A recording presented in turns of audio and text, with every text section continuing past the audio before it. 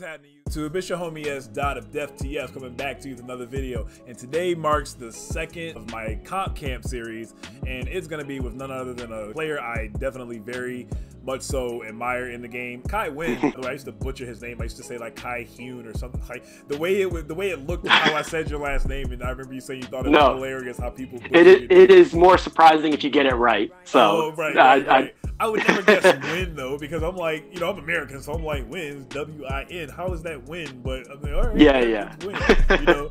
So, uh, but yeah, Kye Huynh is our 2019 Dallas PPG champion. So in our very first one as well, because that was the first tournament there. So shout out to you for winning that with Shockwave. You know, um, definitely mm-hmm. very uh, great feat. You're one of the few champions in the game. You know, collection of the game. So you would definitely always be down in the history books as one of the uh, first champions. So or uh, one of the champions in general. So uh, definitely congratulations to you for mm-hmm. How did it feel when you won?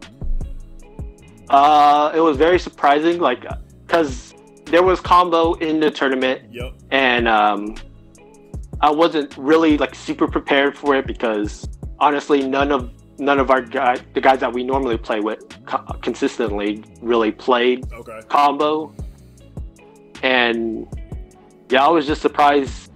I made a few misplays here and there, but yeah, it was it was a learning experience for sure that I'm hoping to repeat. Were you able to identify your misplays like right after? So like in your next round, you were able to capitalize on that, or was these things you realized after the tournament, after watching the playback? From the tournament? Um, usually when I'm in a tournament, I'm like in the zone. So like if I see something, then it's usually applied pretty immediately. But um, yeah, it's it's a it's this euphoric high that I just get into. Like I'm I'm here to win, and then I just zone in, and yeah, it's yeah. Yep. Once after winning and then getting out of that high, that was that, that was definitely an experience I haven't had really before. So okay, okay. I know me when I take a loss. A lot of times, if it's uh, if I I think if I take a loss in the early rounds, I go sit by myself and I put on some music and I just won't talk to anybody. And I'll like put my head down. I kind of just like just meditate and just I just need to sit by myself. I don't want to talk to anybody because I don't want to like. I mean, I'm not gonna have an attitude or anything, but I'm just not gonna be like me because like I'm just focused on. I, I literally go back and analyze all the plays I potentially messed up and what I could have done better so it doesn't happen again. Um, and I say I get like that in the earlier rounds because it sucks losing in the early rounds. If I'm like 4-0, 5-0, or if I'm like 4-1, 5, like from X, XO or X1 to shorten it up, um, it feels a little better to lose and it's not as bad because it's like okay, I only I can still sacrifice potentially one loss or I mean I'm not even thinking like that. I'm hoping to just win the rest. But if I were to lose again, I'll still have a chance of topping because I'm not just here just to just play test my neck. Like I'm going to every event to try to top and place in the top to you know be in contention for winning the tournament. So. For sure, for sure. Absolutely. Cool, man. Um, he is actually the Shockwave guy. He's the person behind Shockwave. So I gotta tell you a story about how Shockwave became my baby. It was actually his baby first because I knew it was a deck I wanted to play, but I was on Orange at um, Gen Con last year, 2019, and uh, I, I, played a deck I created called Fire Bee. So it played uh, Lieutenant uh, Bumblebee, Lieutenant Bumblebee, Cliff Jumper, and uh, Fire Drive. And um, Kye stuck to Shockwave. I think Shockwave is what ended up getting you your um, invite to the top cut, correct? Yes, uh, I got top eight at the first Swiss round, right. so okay. that was that was that was definitely a load off my back for yeah, sure. Heck yeah, yeah. Okay, cool. Yeah, so um, and then I ended up messaging you, messaging you about your Shockwave build and getting some ideas from your build, and um, that I ended up migrating that and ended up you know making my own version out of that and uh, started playing it, especially with inspiration from seeing you and seeing it in action because I was just so stuck on uh, you know Cliff Jumper and like drawing a million cards, and it was a counter to Shockwave as well because I knew I did some testing against it, but um you know then like I said, seeing yours in action and you doing well with it, and also I think uh, George Machado was playing. Was it Machado? I, this is that's why I yeah Machado was playing as well. He was also playing uh, Shockwave as well, so that was pretty cool to see, and I'm glad it mm-hmm. definitely did well for you. So uh, you are with the team. Uh, now, is your team name Transform Your Game? Is that the team? Yeah, transformyourgame.net is, I believe, the like, official right, branding. Right, right, so okay. shout out to the Texas boys. Okay, cool. so, um, Wave Five Titan Masters Attack. How you liking it so far? Oh, it's it's definitely uh, exciting for sure. There's a lot of new mechanics and just a lot of new things going on with the game that I'm pretty excited for. It's taking me for a load a little of them, but you know. Yeah, yeah, it's definitely taking me for a spin too. Um, I think I also I think we definitely connect a lot better because you used to play Yu-Gi-Oh as well. Now Yu-Gi-Oh is my first love. I don't know if that's necessarily your first love as well, but I know that you played very heavy in the TCG. Do you still play uh, currently? Uh, kind of like pay attention to what's going on still, or? Um, So the last time I played like competitive competitive was um, nationals. Was it what, what was it last year? 2019. Yep. Yeah, so that was when I last played competitively Okay. because I was, I was that was the last event because I was getting ready to sell everything Oh, or migrate to selling everything Right. to play this game because that was when Gen Con was happening as well. okay. And Nats Nats that year was in Dallas, so I didn't have to worry about like traveling. So Okay. it was So definitely easier to do that than Origins. What was your reason for uh, stopping playing then? If you don't mind me asking. Um, some there's some personal things that I don't really like about the game. Honestly, I think hand traps is a little too silly. So, As a way to well, so- counter- okay, now Max E went away. Now I know we're migrating Transformer guys. We're gonna come back to Transformers in a second. Don't worry. But now I gotta say, like, so cards like Max E seem like to be the one that was like, I guess, healthy for the game to not let your opponent do so much without you getting a big payoff. But then it got banned. I saw. And then, like, so what do you mean, like the current hand traps in the game now, like Ash and all that? Uh, there's just way too many of them. Like the, okay. the the decks that I don't like, like I don't really exactly mind hand traps per se, but the decks where it's just, oh, I'm going to just, I have one, I have two to three card combo uh, uh, plays where I get like a ton of advantage, so the rest of my deck is like 12 or 15 hand traps, and that's just not fun to play against yeah, for yeah, me. that's, that's so annoying. yeah, it can't build your board and everything. Okay, cool. yeah. Okay. Well, you know what? It's going to kind of uh, segue us into our comp camp questions. So I'm going to start off with our uh, very first question. When did you start the competitive card gaming? And uh, when and duck, excuse me, I, I guess I can start off with that. When did you start competitive card gaming? Um, so I was pretty casual for a long time. I was technically casual competitive around 2012 was when I was like really started getting Yu-Gi-Oh. Really? Uh, but my first, Oh, man, yeah, so my first competitive bloomer. event was 2011 YCS Dallas, Yep. which if you don't know that format, that was a really bad format for full power six Sams for a week. That- Triple Gateway, triple oh, where- where Shien. Nazar won. Nazar went undefeated or something like that, right? Yeah, yeah, he went he went undefeated at that YCS. Yeah, it was. I got mopped. Yeah. I, I lost Yeah, the I didn't- and wasn't able to top that event. I remember that. Yeah, yeah, yeah. That was yeah, same, same. That deck was crazy. Yeah, but um, yeah, 2012 was when I started like really getting like how to play competitive Yu-Gi-Oh, and then I didn't really start topping until 2013, which Okay. was odd because it was in Dragon Ruler format, and I pl- I was playing Mermails, and I got top eight at What? the first regionals with that. Yeah, Dragon yeah, Rulers and spellbooks. oh man, yeah. I, I was stuck No, on I'll- Dragon Rulers. I love that. That's my favorite deck. Okay. So okay. yeah, it's my favorite deck of all time. So, Okay. so that I just didn't have the there was no time to get the, all the Dragon Rulers at the time because we had like it was like the day the set came out and then that Saturday, so Right. there was just no time for me to get And any of the Dragon Rules to play that deck. For rares, they were pretty expensive. So like, Yeah, they were like ten a rare. yeah, so yeah, yeah, that was a lot. and that was that was like the low point. So Right. yeah, it's it was pretty it was pretty crazy, but yeah, Okay. that deck is a lot of fun. Cool. So your competitive card game scene, you were say casual competitive in like 2012. I expected you to say something way back in the 2000s. That's surprising. Um, well, well, I Um, guess how, how no- old are you? well- I guess that might answer some of my questions, make more sense to me. Uh, I believe I'm 28, which sounds weird as an answer because my reasoning for that is there's no really no milestones that you're looking forward to after 21. So I kind of lost track somewhere in there until you hit 30. Okay. You'll you'll know when you hit 30. Yeah, so that, that- that's what I'm waiting for. I believe I'm 28 though. I- So I will say 30 was an interesting hit for me. I was like, man, no more 20s. This is a whole new ball game. I'll tell you that. yeah, So I understand. Yeah. I understand where you're coming from. Respect, respect. Okay. Yeah. So segueing into Transformers, what got you into the Transformers game? Who slash what? How did you end up coming into this card game, the TFTCG? Um, I don't remember where I saw that Transformers was getting a game, but I saw on some website, it might have been IGN actually, Okay. that uh, that that Transformers was getting a card game. I'm like, oh, cool! Right. I could get a sh- I could get a Soundwave token from Yu-Gi-Oh, and then I went bought some packs at GameStop and like these these packs are really big, and then I open right. it and the character cards are really big. I'm like, I don't think I could use these for. yeah. Uh, but then I ended up pulling an SRB, and I was like, oh, I, I put an SR. It was hundred dollars at the time. I didn't really feel like selling it, so I was like, I guess I'll just learn to play the game. And Right. Okay. I found a place in uh, Texas that was playing, that was ha- hosting an event, and yeah, that's that's where it just all started. That's awesome. That's awesome. My, my first uh, super rare pull was Nemesis. I was in the car talking with my girlfriend, and I pulled Nemesis Prime, and like I just stared at it, and I'm like, "This is the one I wanted. This is the one because I wanted to play Double Prime so bad." So, uh, yeah, that was a really cool time. Okay, cool. cool, cool. Yeah. All right, so jumping right into some of the kind of competitive aspect, or you know, more uh, complex. When accessing, or excuse me, when assessing deck building, what are some of the ways you approach building from bottom to top? Uh, from bottom to top, Or just, like, generally, start deck building in general. Like you look at the characters first, which probably makes the most sense. Or yeah, it's usually a character or an interaction with the character that I have an idea with, and then I flesh it out from there. Usually, it, it most of the ideas are pretty gimmicky. Not gonna lie, yeah, but um, some of some of them is gold. yep, So okay, cool, cool, cool, cool.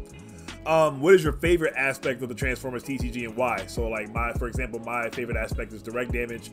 Um, would it be like attack sequences for you, or like some part of the deck building, or like the cards you have in your deck, or whatever? Or what is one of your favorite? Um, multiple. You can have multiple. I- so one of the other problems I have with Yu-Gi-Oh, just real quick Oh, aside, yeah, that's cool. uh, you could brick in that game pretty badly, and they're they've designed the game to where you you're playing your deck with bricks inherently in it. Right, so right. the fact that you start with your characters in play is like, oh man, this is such a changer. Like that you so you just have your most of your abilities in play immediately. So Right. that was right. whew, Yep. makes a world of a difference for me. Absolutely. The green icon, um, the green icon I think is really nice too because like you draw such a bad hand potentially. The green icons can help like just trade those cards out and mold your hand into a better hand throughout time. And then the fact that you don't deck out so you can put those cards back into the deck for recycling to like, you know, flip them on defense or get them where you want type thing. Same with like Energy Pack and Galaxy Prime. I had a couple games where I've had, I've had multiple games where like I'll flip all my Energy Packs early and it's like, man, like in Yu-Gi-Oh! that would like be it because like once you deck out you lose. But in this game, Yep. You recycle those so you like you know once you reshuffle that you have a better you know you have another chance of hitting your energy pack for prime or for prime or you know drawing with pocket processor etc so definitely For sure, I- for sure. I, agree that's a very strong aspect cool is that all you had just that one or Um, that's probably like the most critical card, like Okay. aspect of the game because it's so character focused. yeah Uh, Yeah. the the way I built the char- the game the decks is with the characters, and then Right. they start in play, and it's it's all about the characters, which right. is was very say, very cool. fair, that's how you either win or lose right so yeah oh yeah, yeah except for Darren's King, but that's another whole topic but that's, that's a different topic. yeah okay so your uh, favorite deck that you've played thus far and why Um, hmm. My favorite deck that I've played thus far, I guess it's probably Shockwave. I mean, I've just Yeah. played it for almost a year at this point, Yeah, so yeah, it's yeah, it's yeah. it's it's basically a pet deck at this point. So that's Definitely. that's probably my answer. I'm with it. Surprisingly, um, you know, uh, with the uh, Transform Your Game uh, podcast that you'll be seeing very soon, um, I didn't have Shockwave anywhere on my radar, which is surprising. But like I said, initially it wasn't my baby. It was actually, again, it was yours, quote unquote, for lack of better words. so um, I love that deck too, though. I love uh, control just in general, especially like in, again, we're gonna talk about Yu-Gi-Oh. You know, I love like trying to control the game, and um, I mean that's an aspect even in Magic. You know, control decks, and you have your aggro decks or your red or your whatever you know type deck. So definitely a big fan of that. Only For thing I will say, oh, go ahead, go ahead. No, no, I was just agreeing with you. Oh, okay. The only thing I will say though, how many games have you lost? Can you um, do you remember? Can you recall games that you've lost even when you've took taken your opponent's entire hand? Um, for me, I don't really care about that ability with Shockwave. It's Yeah, more same, of the same. fact that I can look at the top card of my deck and just basically mold my plays that way. Right. Because if I want the card, I just flip Shockwave to Right. alt mode and grab it.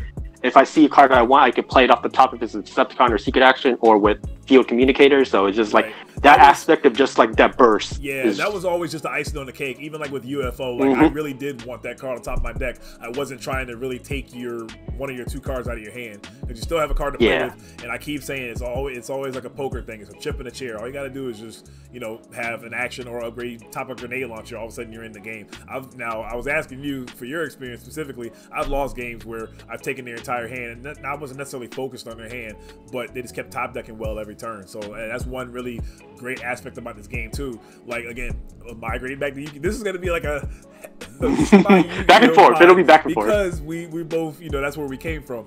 So um, in Yu-Gi-Oh, you can like lose your whole hand on turn one or whatever from a deck that would rip your whole hand like windups or something, and you probably just lose. In this game, you're still alive, and again because of the aspect of the characters, and that's what makes this game so so unique. Because there's no one-turn kills, there's no I lose my hand, I lose the game because I don't have options. Uh, of course, more options the better, but I've beaten I've beaten players. I've been on the reverse, and you know I've been on both sides of the coin where I've beaten uh, my opponent because even with only one or two cards, and they had six or seven, and vice versa. So you know, it's really not a card hand resource management game, but I do like that this game. Um, there's still a lot of information. You know, there's cards like uh, espionage, which there's a card in uh, Yu-Gi-Oh called um, confiscation, where you pay a thousand life points and you look at your opponent's hand and take a card from their hand. Espionage is a grabbable confiscation. So like migrating those type of things like over to this game, like that's just insane because like you not only get to take a card from them, you get information. You get so much information with this game. You can always look at your opponent's scrap pile and um, you know just have a lot of this information. And plus, there's only five waves. Well, I guess you could say four waves because we haven't played wave five officially yet. But yeah. four waves, there's so little. Uh, there's such a little uh, a small card pool. There's not many too way too many avenues your opponent can really branch outside of you know what we already have. Now once we get like ten waves, then it'll be like, oh wow, I forgot about that card from wave six, or I forgot about that card from wave two. You know what I mean? Type thing. Yeah. Oh yeah. So so many different things aspects to talk about, but okay. But yeah. Um, in terms of the uh, Wave Five uh, metagame, what do you think is going to what, it, what this metagame is going to shape up to be? Now, normally to kind of give you some leeway into um, the uh, question, normally formats start out orange and then they end up blue. Blue usually needs to figure out. I always use the analogy of uh, Spider-Man trying to stop a train and like he stops the train like just in time before it falls. The train is the orange deck, Spider Man is the blue deck, and what that means yeah. is how a train just like comes at you super hard and you know nonstop, and the blue like Spider Man is trying to hold it off, and then that's how control decks end up migrating and controlling those orange decks towards the end of the format. But we're in a unique situation this time where the black icon is out, and that's where I'm gonna stop. So what do you think is gonna happen? Wave five. Um, so I do think it, from the tournaments that I've seen and played in, um, Orange is definitely the majority for sure. Yep. I think uh, Orange Perceptor is a thing. Orange Sky Shadow has been a big thing. Yep. Um, Horri-Bull has definitely been up there every so often. Ridiculous. Yeah. he's personally my favorite, but yeah, yeah. And then I have I've, I've seen a few. He's actually not my favorite, but he's insane. Yeah. Yeah, yeah. Um, I've seen a few smattering of blue, but it's been yeah, for honestly, I think this this format blue might have more troubles than the previous formats, but had, yeah. Yeah. Yeah, they have belligerence to worry about. Then they also have to worry about orange or blue black decks, like getting in for guaranteed damage just about every turn. So you can't hide behind your big defensive numbers anymore. Uh, we're gonna need to mm-hmm. need help in terms of stable cover, and uh, I, I, am gonna feel really good though anytime I end hostilities of Demolisher or Lionizer. I'll tell you that much though gonna feel. I haven't done that yet, but no. you know, I, I imagine it would feel good. yeah, it's definitely a feel good. So, okay. So the black icon, you think is gonna be the most impactful thing of the set? Sounds like what you're saying, pretty much, because of. Yes, yes. Black is black is definitely a real color now. We've said it on our podcast a few, quite a few times, but right.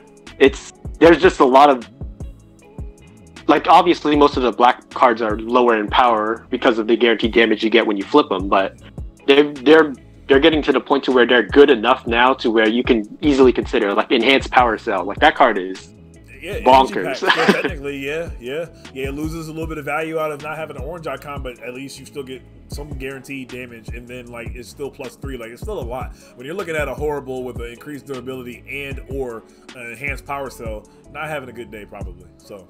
Oh yeah, yeah, yeah. It, it is very rough when that happens. Yep. So. Definitely. Okay.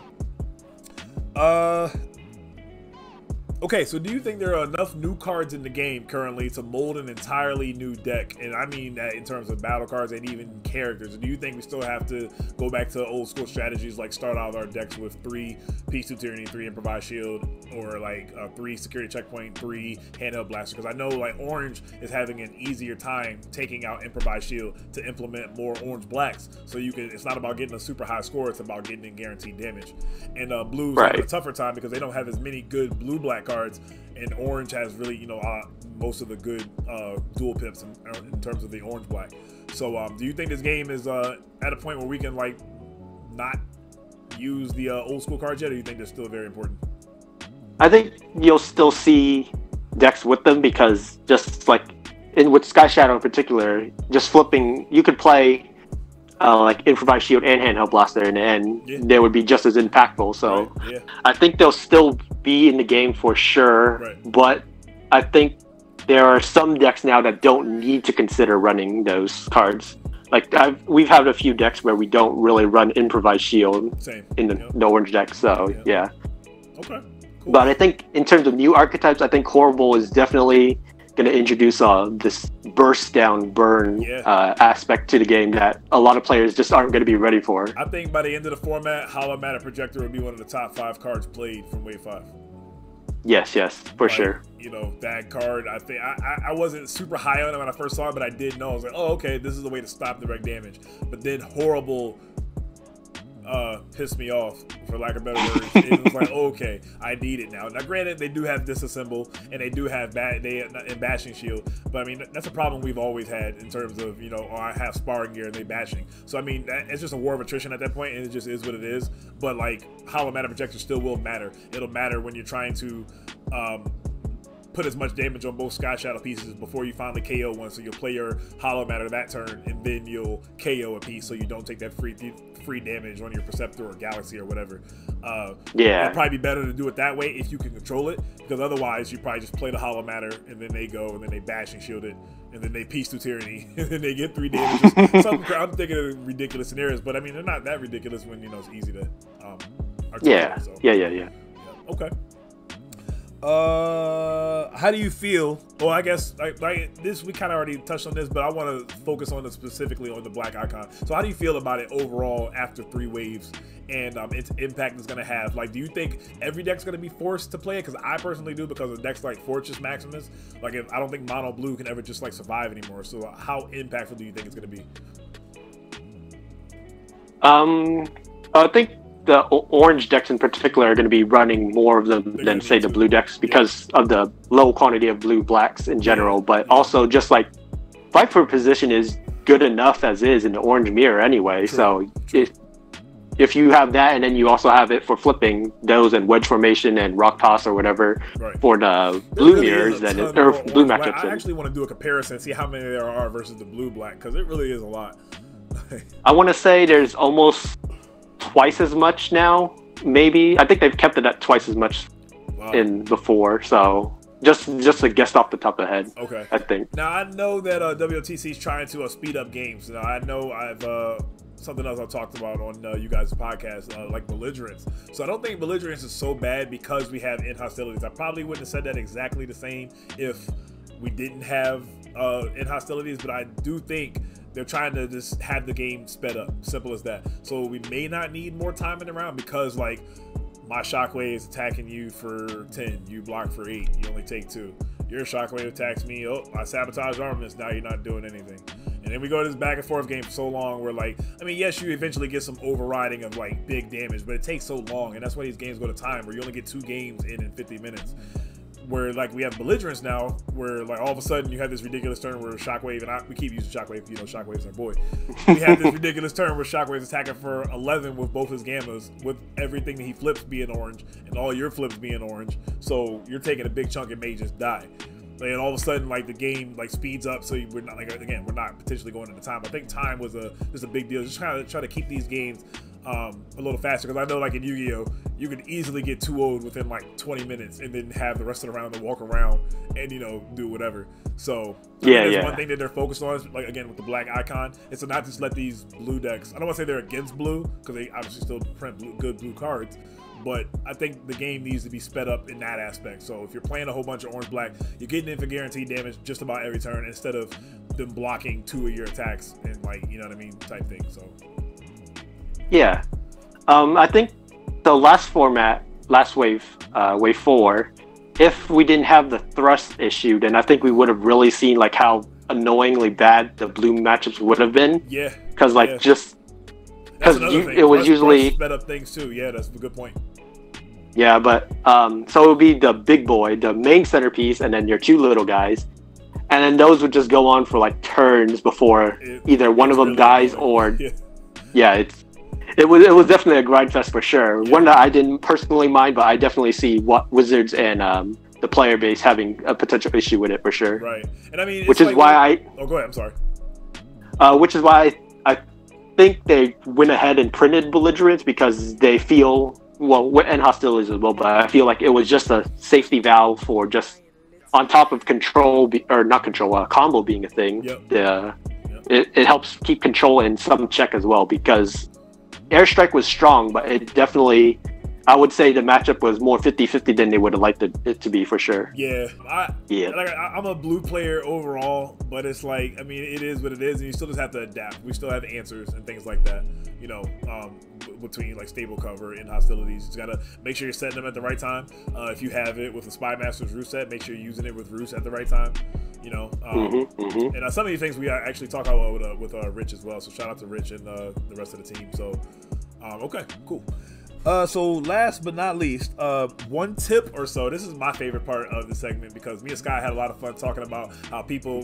I, I want to. This is probably something I should probably start doing. I think I should write this down so I can every time I do one of my comp camps, I'm gonna go back through everybody else, the previous uh, comp camp um, guests and talk about their tip. And Scott's tip was to just not waste cards. And the example I gave was like uh, wheeljack, and you have grenade launcher, uh, re- uh, recharge.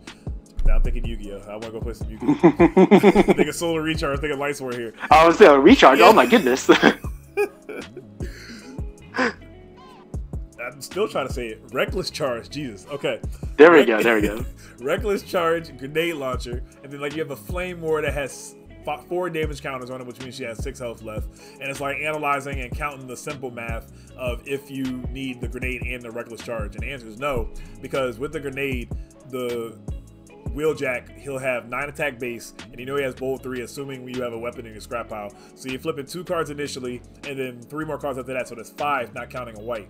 So you just need to assume at the minimum he's gonna get all five oranges, give or take one. So he should have somewhere between 13 and 14 attack upon flipping. Obviously, if you flip a white when you flip double oranges, that's the part you really can't control. You can just only do what you you can only uh, attack for what you assume, unless you know like the last couple of cards in your deck and you just memorize your whole deck list like that. Um, I don't take it that far. I just know like I'll simply look through my scrap pile and have four double oranges in my scrap pile, and it's like, oh, okay, I have ten cards left in my deck, so I know my next attack should be decent as long as I can hit one of these double oranges type thing. But anyway, so you don't need that reckless charge because the grenade launcher should be enough.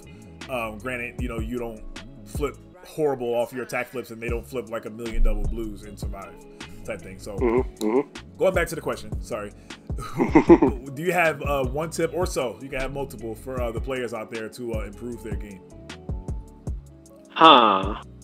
I know that's like an on the spot question type thing, but what's something that you've learned to stop doing, or like something that's really helped you out? Maybe I guess that might be a better way. Um, I guess it's a little bit of a continuation on Scott's answer, but just like checking all information possible. Uh, so basically, um, before I commit an attack, if I need it to go, if I need it to figure out if I need to pump something, then I would just check my scrap, see how many double oranges are in there or whites, and then basically do like some math real quick, just like quick probability, and then check their scrap if they have any double blues or or just probably a better answer would probably be like just pay attention to what they're flipping. Like if you swing into an attack on their first turn and they flip three double blues, that means you're gonna get that means you're gonna get sizable attacks later in the game. So just keep that in mind and I do just that focus so on- often. I've watched playback on uh, streams, and uh, I've seen people say, "Why does he look through his opponent's scrap pile so much?" Or "What is he looking at?" This is why the games take so long. I mean, I think I kind of even it out with some of my turns are super quick, and then some of my other turns mm-hmm. take a little longer, so they balance out in terms of why I didn't take long on every single turn. There's some turns same, where you have same. to calculate a little bit more often than not, and I I think I don't want to say that's a Yu-Gi-Oh thing, but like I did that a lot in Yu-Gi-Oh. Like you know, looking at information is key. Knowing what they have mm-hmm. left. If they have two security checkpoints in their scrap pile, there's potentially there's potential that you need to play this upgrade out your hand because if they're holding the other security checkpoint, you know that's going to be bad because you want to keep you want to play that upgrade. Like just like that's you know one of the basics type deal. So I do that a lot yeah. myself. Yeah. So on top of that, just like just pay attention to what they're flipped. So like if they flip reprocess early in the game and they don't grab it, just know they probably don't have at ready uh, upgrade removal until they reset the deck. So just yeah, it's just one of those things where you just pick it up as you're paying attention and oh, he's playing that. Okay, I have to watch out for that and all that, all that or, type of stuff. Or their hand is that good, and it kind of makes me worry. It's like, damn, you didn't get reprocessed. What's going on? So, yeah, yeah, yeah. Um, in the past couple of games, like I remember against uh, Dave Burgos, um, I've played a couple of games against him where I traded Arm Hovercraft for like a green, and it hurt my heart to get rid of Arm Hovercraft because that's one of my favorite cards in the game. But like it was that oh, yeah. that I get that batons or whatever, you know, to kill his Lionizer. So it's had to. It's like how much do I value this or like this Hovercraft over time? I don't want him getting more than one attack out of that Lionizer, you know. So for sure, for sure, absolutely. Cool, man. Well, Kye, unless you have anything else, well, actually, I, this is the part where actually I will pass it to you, and you can uh, shout out all your uh, connections, how that people can reach you, how people can reach the team, and uh, Transformers, uh, Transform Your Game, excuse me, .net, and all your different platforms for your podcast, etc. Uh, so yeah, I am part of the TransformYourGame.net uh, guys. We are. It's uh, our YouTube is Transform. what was that? TX Boys. Say shout out to the TX Boys. Oh, yeah, yeah. yeah. So our YouTube is uh, transformyourgame.net, and um, that's where we mainly that's where we post the podcast video form, and then the podcast we also have on our SoundCloud and iPod and or iTunes and all that stuff. But if you need a place just to find it, we're doing just go to the YouTube page, and then if you go to any of the uh, listen through any of the podcasts, we'll have links in the description, so it'll be easy to find for that. Okay. But we we're not doing just podcasts. I know it's been just a podcast for a while, but I'm planning on putting a Shockwave deck profile up pretty soon, probably might be this week. so that'll be pretty cool to see you guys like do more like face to face Like That's why I want to do these face to face so people can like kind of because they probably have seen your name before and you know didn't really get a. Uh, you know, a good idea until they actually got to see if it's like, oh, okay, that's that's the guy or whatever. Kye, it's been an honor having you on here, man. We're gonna have to do some more collabs. Um, I'm definitely gonna have some more of your crew on my uh, Comp Camp podcast. I just want to be able to kind of hit you guys from this angle on a more competitive sense because you know that's me and that's that's all I'm about. Ever since I've been, um, I migrated my channel, you know, to, to Transformers. So again, I definitely appreciate you have having you on, and um, it's been an honor. Anytime, man. Absolutely, but you know, I gotta have you do one more thing before we leave. I gotta get some type of flex from you.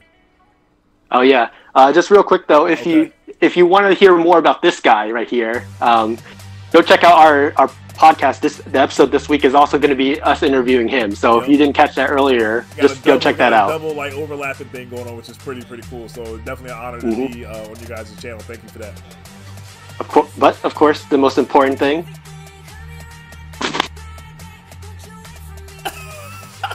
Move over a little bit because we didn't get to see the muscle. Hold on, got it. Yeah, kind of. There you go. Yep, yep. Hey, here it is. hey, you guys know what it is, man. This is your homie S. Dot and Kye Huynh of TransformingGames.net heading out. You guys have a great day and or a great night whenever you're catching this video. Peace. Thanks again, Kye. Mm-hmm. Warrior.